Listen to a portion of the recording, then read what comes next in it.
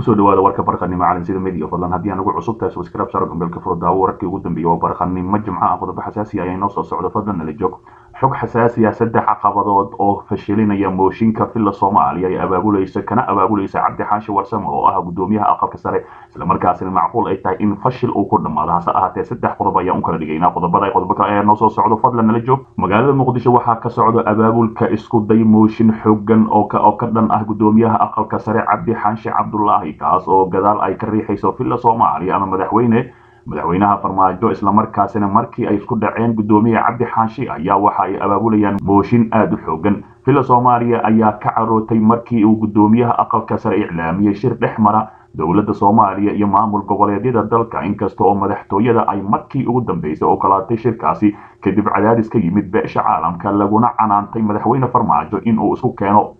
maamul goboleedyada si kastaba ahaatee ugu dambeyntii la aqbalay. Qorshaha mooshinka loogu keenayo cabdi xaashi ayaa wajahaya caqabado dhowr ahi oo aada u adkaynaya in lagu guulaysto kuwaasi oo durba la dareemayo ama laga dareemayo qaarkoodba. Caqabadaha koowaad ayaa ah sidii lagu heli lahaa taageerayaasha senataro ku filan oo diyaar u ah inay mooshinka ka qayb noqdaan iyada oo la rumaysan yahay in saamaynta filla soomaaliya ee aqalka sare ay aada u yar tahay marka loo eego tan golaha shacabka soomaaliyeed. Caqabadaha labaad ayaa ah in xitaa haddii ay dhacdo in la helo taageerada loo baahan yahay aysan cid qabataa mooshinkaasi oo guddoomisaa maadaama cabdi xaashi uusan qabanaynin mooshin isaga xilka looga qaadayo laakiin waajib ama sharciga ay tahay ku-xigeenkiisa haddii cabdi xaashi uusan qabanaynin waxaa waajibkaasi uu ka dhacayaa ama uu saaran yahay guddoomiye ku-xigeenka koowaad ee aqalka sare abshir bukhaari oo filla soomaaliya aan la tusin karin islamarkaasina dab iyo baasiin isku yihiin. Abshir bukhaari ayaa ka mid ah siyaasiyiinta sida weyn u diidan siyaasadda filla soomaaliya ama uu hogaamiyey ra'iisul wasaare khayre iyo madaxweyne farmaajo filla soomaaliya ayaa waxaa ku xihan guddoomiye ku-xigeenka labaad ee aqalka sare mawlid guhaad hase yeeshee iyada oo uu joogo abshir bukhaari ma qaadi karo wax tallaabo ahi haddii uu qaadana waxay noqonaysaa sharci darro islamarkaasina maba qaban karo dastuurkaba ayaa diidayo. Caqabada ugu weyn ayaa ah beesha caalamka oo aanan ogolaanaynin in xilligaani kala guurka ahi ee muddaxileedkii dowladda federaalk soomaaliya ka harsan tahay bilo bilo oo keliya qalalaase siyaasadeed waxaa sidoo kale cabdi xaashi loo arkaa sharci dejiyaha oday ahi oo xal doonaya islamarkaasina maadaama uu guddoonka golaha shacabka ay noqdeen kuwo laga maamulo filla soomaaliya islamarkaasina ay ku dhex milmeen siyaasadda filla soomaaliya. Laakiin beesha caalamka ayaa oday ahaan u aqoonsatay ama sharci dejiyaha soomaaliyeed beesha caalamka haddaba su'aasha ayaa ah maxay ayada oo ay jiraan dhowr caqabad oo diidan in xilka laga qaado cabdi xaashi oo mooshinkaasi dhaqan kalo ay haddana filla soomaaliya u wadaa iskuday mooshin. Sanataro ah sanataro ayaa rumaysan inay tahay cabsigelin iyo hanjabaad cabdi xaashi loogu sheegayo inuu ku soo darsamo xubnaha laga maamulo madaxtooyada filla soomaaliya. Hase ahaatee cabdi xaashi ayaa waxaas iskala weyn islamarkaasina sheegay inta cimrigayga ka dhiman in aan dalka sharci dejinayo ama ama hogaaminayo. Si kastaba ahaatee arrintaasi ayaa ku adkaatay filla soomaaliya islamarkaasina ma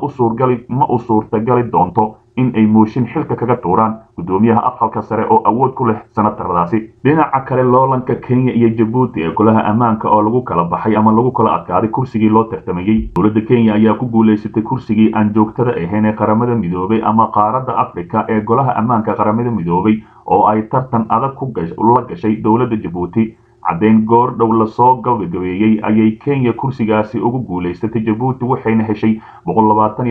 cod iyadoo laga doonayay inay hesho cod. Halka jabuuti oo loolamaysamay ama la tartamaysay ay heshay lixdan iyo laba cod. Codeynta shalay ayaa ahayd tii labaad waxayna dalka jabuuti iyo kenya ay shalay isku mari waayeen. Codeyn loo qaadaya iyadoo iyadoo shalay oo mar kale soo ballamay sidaasina ay guusha ku raacday dalkaasi kenya. Jabuuti ayaa shalay codayntii dhacday ku heshay toddobaatan iyo sideed cod halka kenya ay heshay. Jabuuti ayaa doraad codayntii dhacday ku heshay toddobaatan iyo sideed cod halka kenya ay heshay boqol toban iyo saddex cod hase yeeshee middan midna ma helin tirada codadka lagu soo bixi lahaa oo dhan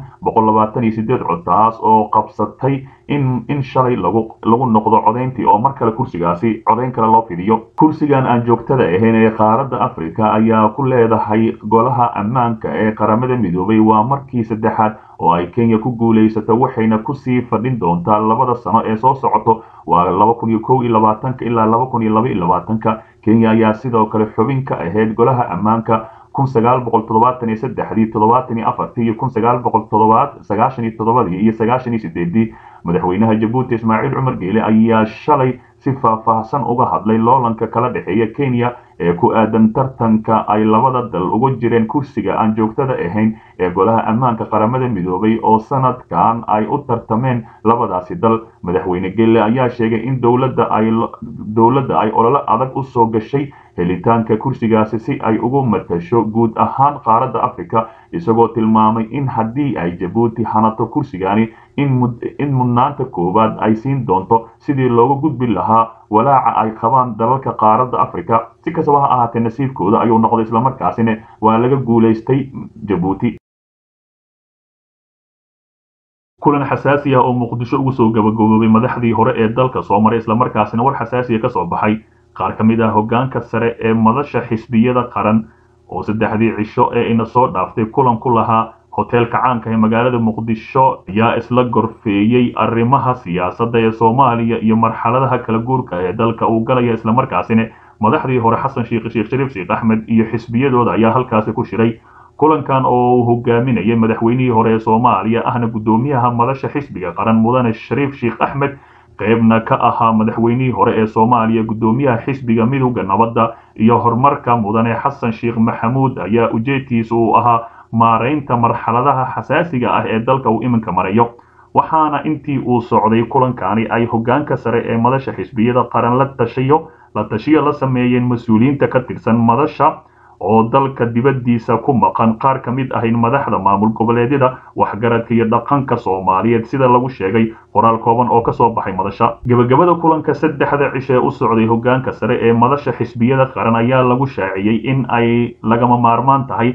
in doorasho dalka ay xilligeeda ku qabsoonto lagana wada heshiiyo islamarkaasina marnaba aysan dowladda federaalk soomaaliya xilli ay ku darsan karin. Si kastaba ha ahaatee boqol mar ka badan ayay xisbiga ama mucaaradka sheegeen in dowladda federaalk soomaaliya doorasho lagu wada heshiiyey oo dadka saamilayda siyaasadda iyo maamul goboleedyada gebi ahaanba ka wada hadleen raalli laysaga yahay la wada qabto villa soomaaliyana marnaba ayn ku darsan karin xilligii loo asteeyey dhinaca kale madaxweyne muuse biixi cabdi oo faahfaahiyey arrintii xalay ka dhacday shirka jabuuti. Madaxweynaha somalilan muuse biixi cabdi oo goor dhoweyd oo maanta ahi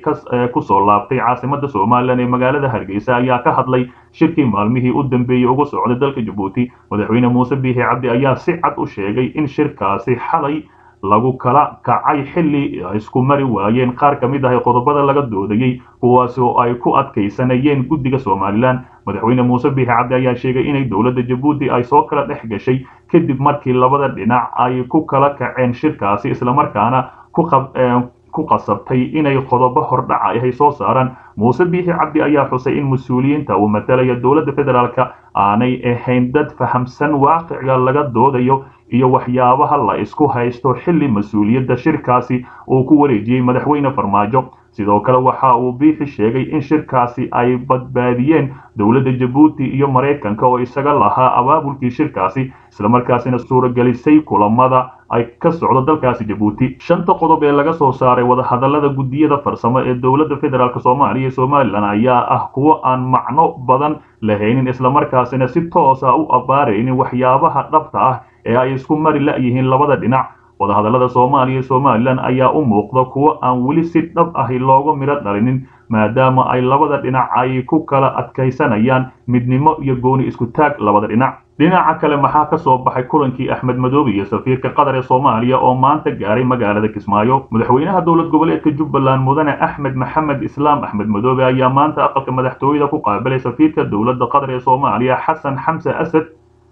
safiirka iyo wafdiga uu hogaaminaya oo magaalada kismaayo ku yimid furitaanka mashaariicda dowladda qatar ay ka fulisay jubbaland ayaa waxaa ka mid ah mas'uuliyiinta sidoo kale ka socday hay'adaha gargaarka ee dalka qatar iyo xubno kale. Waxaa madaxweynaha uu safiirka uga mahad celiyey adeegyada horumarineed ee qatar ay ka fulisay jubbaland iyadoo la isku raacay in la dardargeliyo mashaariicyada dhiman ee mustaqbalka dhow waxaana ugu muhiimsan adeegyada caafimaadka waxbarashada beeraha iyo garoomada diyaaradaha. Waxaa jira warar sheegaya in warar sheegaya ujeedka ugu weyn ee safarkiisa uu tagay magaalada kismaayo inay tahay arrimo la xiriira sidii axmed madoobe